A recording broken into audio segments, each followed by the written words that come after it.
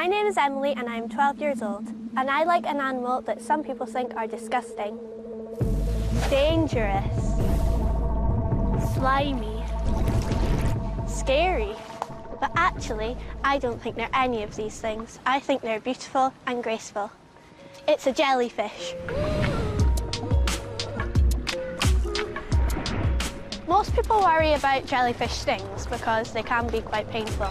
But most jellyfish stings in Britain are no worse than a nettle sting. Jellyfish have been around for millions of years, even before the dinosaurs.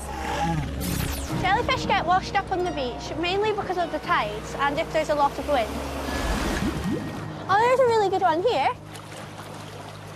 This is a moon jellyfish and it's the most common jellyfish in Britain. They are mostly see-through, but they have quite a few purple markings, like purple rings and purple stripes.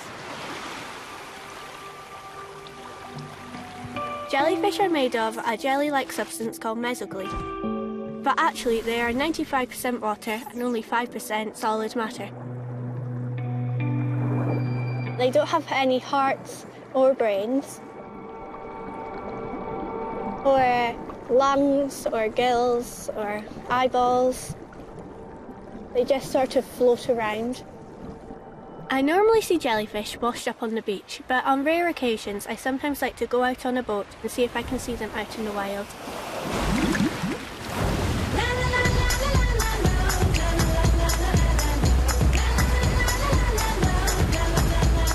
We were just heading across really, really fast because we needed to get to somewhere a bit calmer so that we're more likely to see jellyfish, and I really, really hope we do.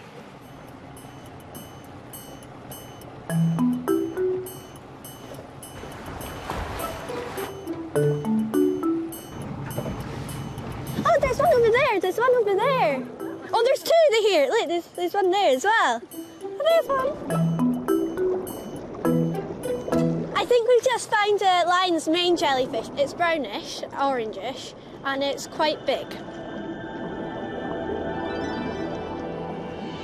I think it's going underneath the boat.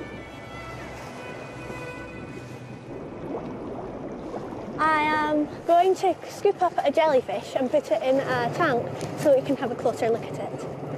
And I have always wanted to do this.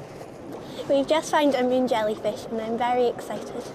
My mum is here and people from this boat are here to help me. No! It's quite difficult because they keep on falling out of the bucket. You should never touch a jellyfish because it will sting you. Hold on a second, we'll just bring it closer.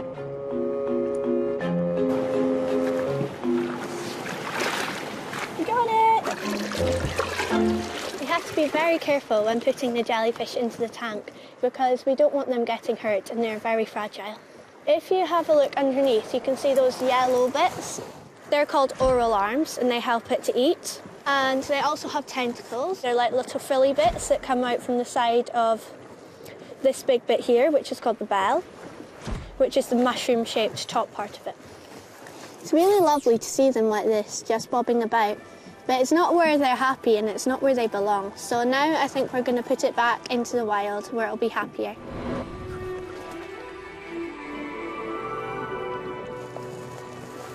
Bye, jellyfish.